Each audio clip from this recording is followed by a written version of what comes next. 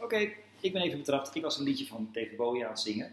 Maar dat komt omdat liedjes van David Bowie zich in de regel ontzettend goed lenen om natuurkundeopgaven mee te gaan doen. Bijvoorbeeld dit nummer. Dit nummer is uh, Space Oddity uit 1969. En dat is het nummer waarin David Bowie eigenlijk beroemd geworden is. In dat nummer gaat het over een astronaut, uh, genaamd Major Tom, die met zijn ruimtecapsule de ruimte ingeschoten werd. En dan in de ruimte het contact met de aarde verliest. Hij raakt contact kwijt met ground control. Nou, voor sommige mensen is dat liedje eigenlijk één grote metafoor voor hoe je als verslaafde langzaam contact met de mensheid verliest. Maar ik vind het leuker om me voor te stellen dat het echt over een uh, astronaut gaat die contact met aarde verliest. En daar wil ik een opgave bij gaan doen. Uh, dat is deze opgave, Major Tom op de oceaanbodem. En die ga ik in deze opname helemaal bespreken. Nou, zoals ik al uh, kan zien aan de naam van deze opgave, Major Tom op de oceaanbodem, is het niet zo dat Major Tom in dit geval in de ruimte is en nooit meer terugkwam. Dat zou wel het geval geweest zijn trouwens, als Major Tom in zijn ruimtecapsule uh, geen kracht meer in zijn raketmotor had. Want wat gebeurt er dan als hij geen kracht meer kan zetten en hij voelt geen weerstandskracht, dan is de netto-kracht op Major Tom's ruimtecapsule is nul. En wat zegt de eerste wet van Newton dan? Dat je met een constante snelheid in een rechte lijn vooruit schiet. Dus in het liedje beschrijft David Bowie dat Major Tom net bij de maan vliegen is en dan raakt hij contact met ground control kwijt. Nou, dan zou hij dus in de rechte lijn voor altijd door blijven gaan. Dat is mij iets te deprimerend. Daarom staat er hier op de oceaanbodem, Major Tom gaat in deze opgave wel degelijk terug naar de aarde. En dan stort hij in de oceaan en dan komt hij met zijn schip op de bodem van de oceaan te liggen. En daar ga ik deze opgave omheen doen. Ik heb er een plaatje bij. Ik heb hier gewoon wat hier staat nog een keertje op het scherm gezet. Dit is de capsule van Major Tom op de bodem van de oceaan. Nou, daar zit hij in principe vast, hè, want we zeiden net al dat zijn uh, uh, motoren, zijn raketmotoren, dat die stuk waren. Dus als die vast zit, zit hij vast ook. Gelukkig, en dat staat hier, was hij niet de enige op de oceaan wonen. Er is namelijk ook Vleermuisman, de beroemde superheld. En deze superheld komt net voorbij reizen in zijn vleermuis onderzeeboot. Kijk, dat is een, dit plaatje, dat is de vleermuis onderzeeboot. En waar deze opgave over gaat, is dat de vleermuis onderzeeboot gaat proberen de ruimtecapsule van Major Tom los te wrikken uit de modder. Nou, we gaan er even doorheen lopen. De eerste vraag die hier staat, opgave A, is: uh, leg uit met behulp van de wetten van Newton hoe het komt dat de vleermuis onderzeeboot vooruit wordt gestuurd door een waterstraalspuit die aan de achterkant van het schip zit. In het verhaaltje staat namelijk dat de vleermuis onderzeeboot aan de achterkant hier zo komt er een waterstraal uit en dat stuwt dat schip naar voren. En de vraag is, uh, kun je dat verklaren met behulp van de wetten van Newton? Het antwoord is ja, dat kun je makkelijk verklaren, want eigenlijk heb je alleen maar de derde wet van Newton nodig. Die zegt namelijk dat op het moment dat jij tegen iets aanduwt, dan duwt datgene net zo hard terug. Dat is niet omdat dat ding waar je tegenaan duwt handjes heeft en daarmee terugduwt, maar dat is gewoon een eigenschap van materie. Materie duwt altijd terug als jij er tegenaan probeert te duwen. Maar dat geldt dus ook voor uh, de uh, vleermuis zeeboot. Als je daar water aan de achterkant uitspuit, en hier zo, je spuit hier water uit. Wat je dan doet, is dat jij de watermoleculen een kracht naar buiten duwt. Hè? Anders spuit je ze niet naar buiten. Je duwt ze naar buiten. En wat doen die waterstofmoleculen, de water, niet waterstof, de watermoleculen dan? Ja, derde werd van die duwen terug. Die duwen terug tegen de vleermuis onderzeeboot. Met als gevolg dat de vleermuis onderzeeboot dus naar voren gestuurd wordt. Uh, dat geldt trouwens niet alleen voor boten, dat geldt ook voor als je gewoon loopt. Wat je doet, is dat jij de aarde probeert naar achter te duwen. Die aarde duwt precies net zo hard terug en daarom ga jij naar voren.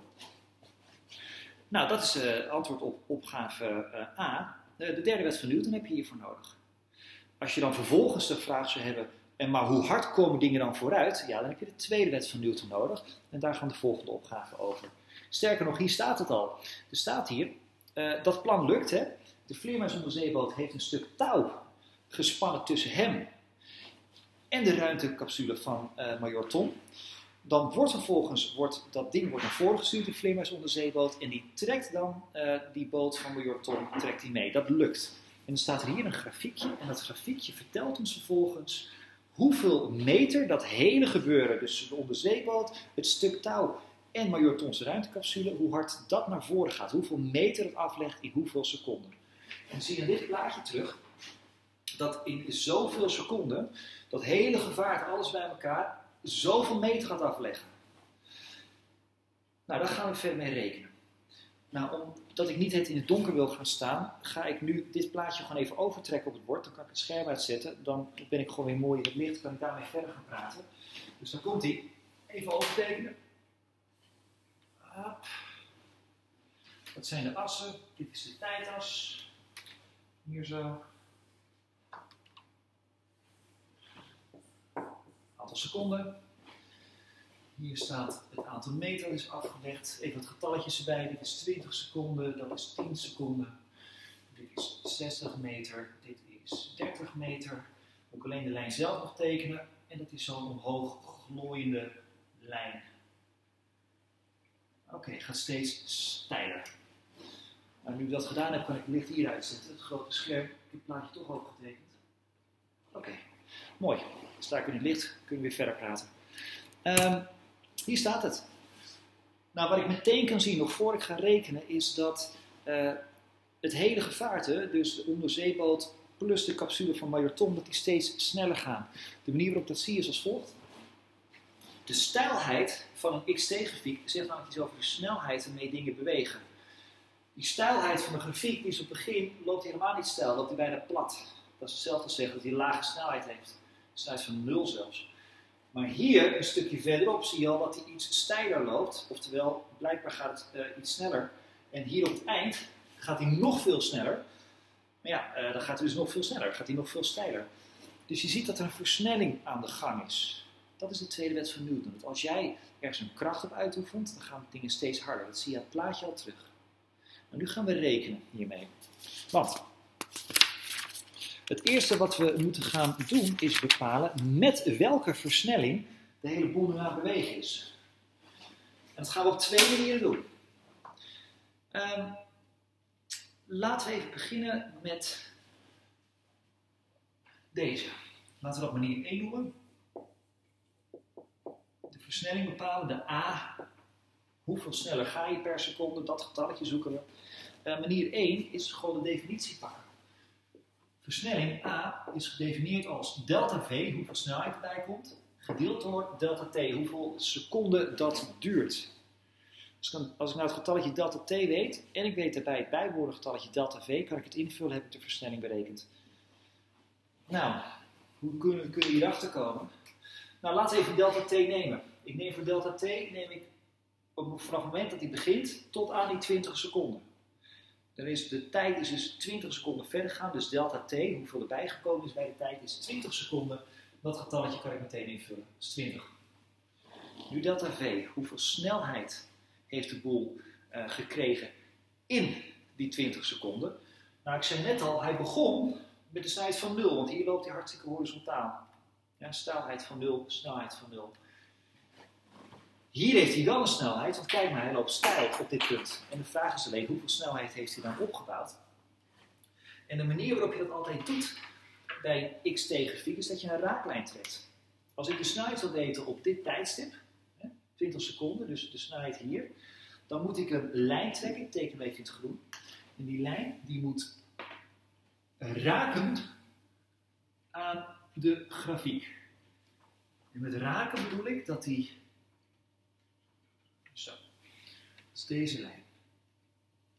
Met raken bedoel ik dat hij op dat punt waarvan ik het wil weten, dit punt, dat mijn raaklijn, mijn groene stippellijn hier, dat die er tegenaan ligt en dezelfde stijlheid heeft als mijn grafiek.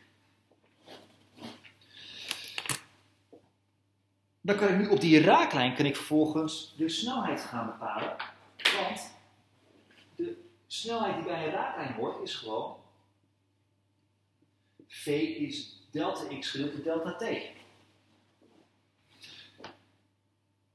De delta t, nou laat ik even van dit punt naar dit punt nemen, dan zie ik dat het 10 seconden voorbij gaat. Ja, je denkt delta t, dat was toch 20 jaar, ho dat was deze delta t, waarvan we die versnelling gaan berekenen. Maar voor die raaklijn pak ik alleen dit stukje, dan is die delta t is 10 seconden. En delta x is hoeveel afstand er dan bijgekomen is. Nou, deze raaklijn die begon met een afstand van 0. En op het moment dat die hier is aangekomen, hè, die 10 seconden later, is, is er 65 meter bijgekomen. En dat punt komt ongeveer overeen met 65 meter. Dus delta x is 65. Maar ja, dan zie je ook meteen wat de snelheid is op dit punt. Dat is namelijk 65 gedeeld door 10, 6,5 meter per seconde. Nou, dat is hoeveel snelheid hij blijkbaar op dit punt heeft. Voor de mensen thuis die denken misschien, ja maar je hebt nu de snelheid berekend van de raaklijn. En we zochten eigenlijk de snelheid van uh, die zwarte lijn van de vleermuis onderzeeboot. Maar ik hoop dat iedereen ziet dat dat dezelfde snelheid is. Ja, ik had namelijk mijn raaklijn hè, had ik getrokken dat die dezelfde stijlheid heeft als mijn eigenlijke grafiek. En dingen die dezelfde stijlheid hebben, hebben ook dezelfde snelheid. Dus als ik een raaklijn heb die dezelfde stijlheid heeft als mijn oorspronkelijke grafiek, dan hebben mijn oorspronkelijke grafiek en mijn raaklijn hebben dus ook dezelfde snelheid. En dat is wat ik hier doe. Ik bereken de snelheid hier die bij de raaklijn hoort, omdat die raaklijn dezelfde stijlheid heeft als mijn zwarte grafiek van de vleermuis onder is dat ook de snelheid van de vleermuis onder zeeboot. 6,5 meter per seconde. Nou, dan zijn we hiermee klaar. We kunnen terug naar die berekening, want wat wij wilden weten is hoeveel snelheid heeft die boot gekregen vanaf het allereerste begin. Nou, van 0 naar 20 seconden hebben we gezien, is er 6,5 meter per seconde snelheid bijgekomen. Dus delta V is precies die 6,5. En dan ben ik klaar. Want dan is mijn A is dus blijkbaar 6,5 gedeeld door 20. En als je dat sommetje doet, dan vind je dat de versnelling is 0,325 meter per seconde kwadraat. Dus blijkbaar is de versnelling van mijn vleermuis onder zeeboot is 0,325 meter per seconde kwadraat. Nou, sommetje opgelost. Nou, ik beloofde op twee manieren te gaan doen. Dit is alleen maar manier 1. Manier 2.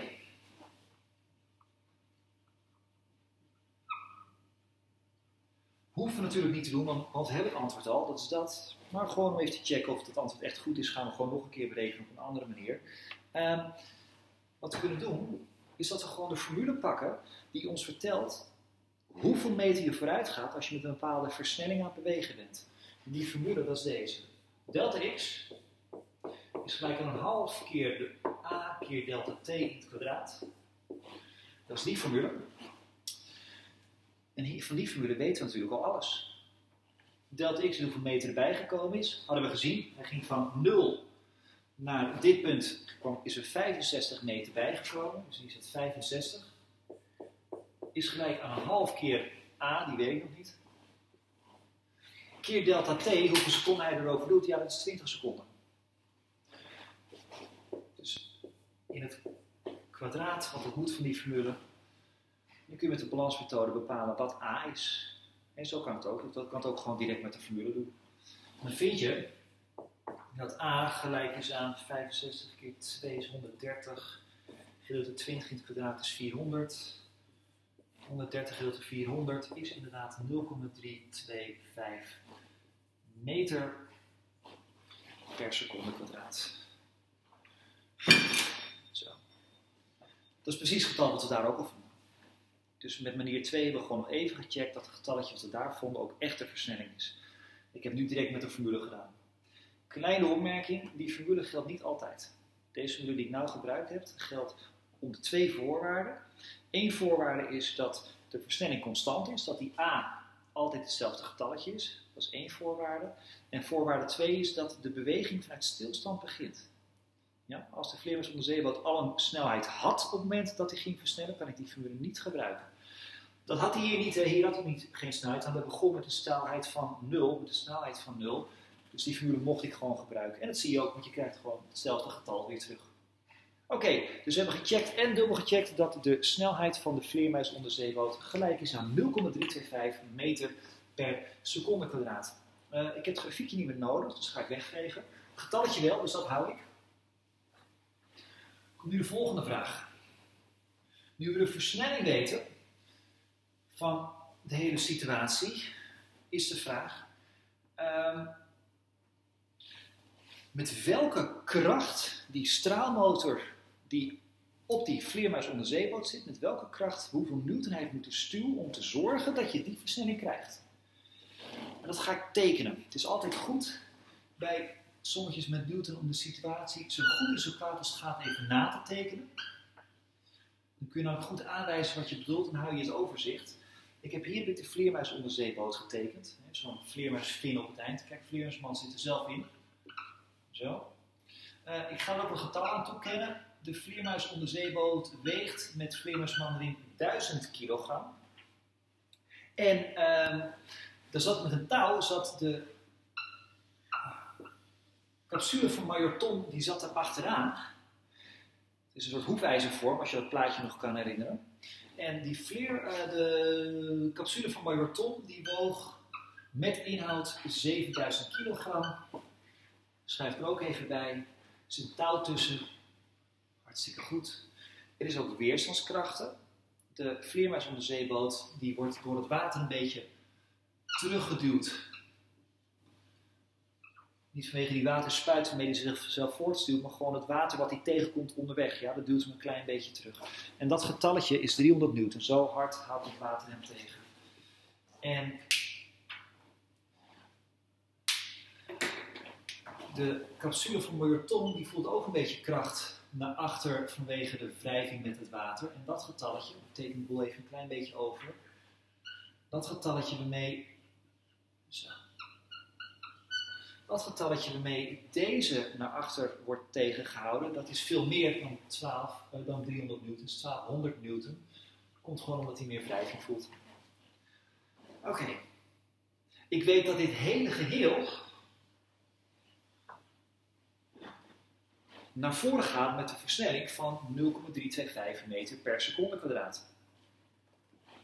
Maar dan weet ik ook de kracht waarmee de bol naar voren gaat. Want daar is de tweede wet van Newton voor. Die vertelt me namelijk dat F is m mal a. En de A waarmee de boel aan het versnellen is, hebben we net uitgerekend, 0,325. De M weet ik ook. Want dit hele zooitje bij elkaar is 1000 kilo plus 7000 kilo is 8000 kilo. Dus M is 8000. Zo. En dan moet ik alleen de kracht nog even weten waarmee de boel naar voren gaat. Ja, is gewoon dus dit keer dit. Als je het uitrekent, dan vind je dat de kracht waarmee alles naar voren wordt getrokken gelijk zo'n 2600 newton. Dat is de kracht waarmee de hele zooi naar voren gaat. Dat was niet de vraag. De vraag was, hoeveel is de kracht waarmee die waterspuit aan het duwen is? Dan ga ik ook even een plaatje zetten. We al gezien, er is 300 newton naar achter vanwege de wrijving met de vleermuisboot. 1200 newton naar achter vanwege de wrijving van Major capsule. En er is een bepaalde kracht waarmee de waterspuit de hele boel naar voren aan het stuwen is. Laat ik dat de motorkracht noemen. Dit getalletje wil ik weten. Wat ik weet is dat alles bij elkaar moet 2600 newton opleveren. Ja? Dus je moet het vraag, uh, vraag je zo lezen. Er staat, met hoeveel kracht moet die motor de boel naar voren hebben getrokken, dat zelfs als je met 300 newton wordt tegengehouden en daarna nog eens keertje met 1200 newton wordt tegengehouden, dat je dan nog steeds 2600 newton overhoudt. Dat is de vraag. Maar dan kun je meteen het antwoord zien. Want de motorkracht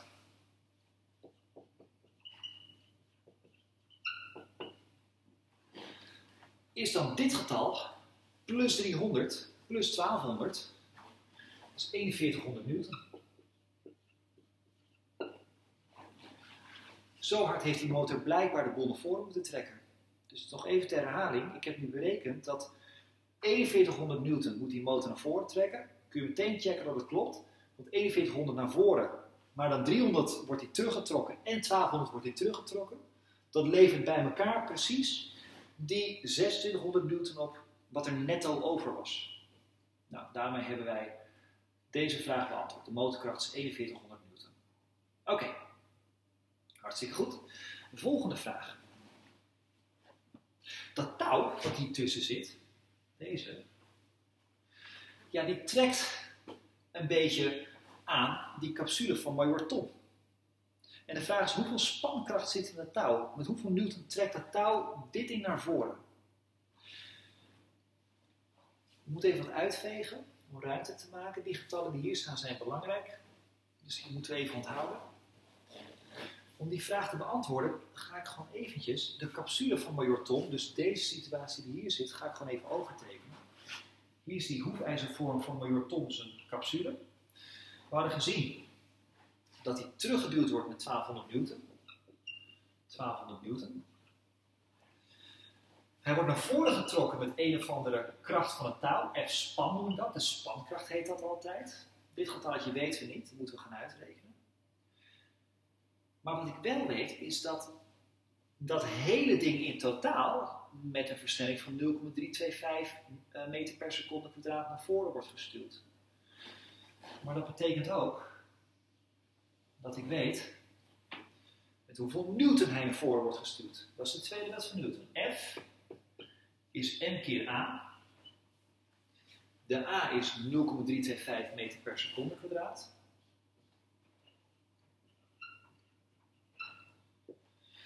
Keer de massa. Ik ben nu alleen naar Major Thomson uh, capsule aan het kijken. Die was 7000 kilogram. Dus voor de massa gebruik ik nu Major Tom zijn uh, capsule zijn massa. Dus dat is 7000. MPA 7000 keer 0,325. Daar komt uit 2275 newton. Dus dat is de kracht, de netto kracht waarmee die capsule naar voren wordt getrokken. Nou, die vraag, die, die, dat wilden we eigenlijk nog niet weten. We wilden weten hoe hard de touw nou trekt. Nou, dan zijn we weer waar we net eigenlijk ook al waren bij het vorige sommetje. Wij weten dat het netto naar voren wordt getrokken met 2275 newton. En we weten dat die, dat touw zo hard trekt, dat zelfs als er 1200 newton wordt tegengehouden, dat je dit aantal newton nog overhoudt. Ja, dan zijn we er, want dan is de spankracht. Moet dan geweest zijn dit getal plus die 1200. 2275 plus 1200 leveren elkaar op 3475 newton. Kunnen we meteen even checken dat het waar is. Wat ik dus uitgerekend heb, is dat het touw met 3475 newton aan Major Thomson capsule moet hebben getrokken. Dat klopt ook, want als ik 1200 newton daar weer vanaf snoep, dan krijg ik precies met 2275 terug waarmee de hele boel netto naar voren gaat. Dus dat sommetje is ook afgerond. Dat is hoe hard dit touw deze capsule naar voren trekt.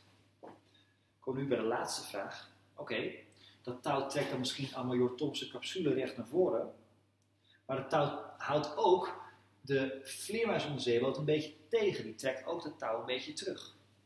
De vraag is welk getalletje is dat dan? Nou, mensen die de derde wet van Newton hebben begrepen, die snappen meteen, het is gewoon dit getal weer. De derde wet van Newton zegt, als je ergens aan trekt, met een bepaald getal, 34,75 bijvoorbeeld, dan trekt dat ding net zo hard in jou terug, ook 34,75. Dus hoe hard Vleermuisman met zijn boot aan de capsule trekt, dit getal is precies hetzelfde getal als waarmee de capsule terugtrekt aan de boot. Alleen de opgave vraagt om dat ook echt even te berekenen. Bewijs dat die derde wet van Newton hier ook echt opgaat. Nou, laten we dat maar gaan doen. Uh, ja, daarvoor ga ik gewoon die vleermuisboot even zijn eentje bekijken. Dus ik haal dit weg. Ga ik een plaatje maken van alleen de vleermuisboot. Zo. Ga ik de krachten er weer in tekenen. We wisten al, de kracht waarmee door, de, door het water naar achter wordt tegengehouden als 300 newton. Hij wordt ook naar achter getrokken door dat touw, dat is dat onbekende getal. Dat noem ik maar weer de spankracht. En naar voren wordt hij ook getrokken. Dat was namelijk de motor. De motor die we net hadden uitgerekend, die trok de hele boel naar voren. Dus een kracht naar voren in dit geval, hadden we al berekend, is 4100 newton. Dus dat zijn alle krachten. De netto-kracht op de vleermuisboot weten we ook. Dan komt hij weer. F is allemaal A. F is m keer A. A is de versnelling van de vleermuis op de zeeboot. Dat is 0,325 meter per seconde kwadraat. M is, omdat we nu alleen de, uh, de bekijken, alleen de massa van de vleermuisboot. Dat was 1000 kilogram. Dus m keer a voor vleermuisboot is bij elkaar 1000 keer 0,325. En dat is bij elkaar 325 newton. En dan zijn we waar we zijn willen. Want dan staat er hier dus dat de uh, spankracht zodanig moet zijn dat als de boot 4100 uh, newton naar voren uh, gestuurd wordt door, de, door, de, door zijn eigen motor, er 300 vanaf gaat, en je dan nog F span er ook vanaf haalt, dat er nog steeds 325 newton overblijft. En als je dat doet, dat sommetje, hoe groot moet die spankracht dan zijn geweest? Nou, dan duurt het niet lang om je te realiseren dat het gelijk zijn 4100 newton uh, min 325 min 300. En als je dat uitrekent, dan vind je precies hetzelfde getal als wat we net ook hadden. 3475 newton.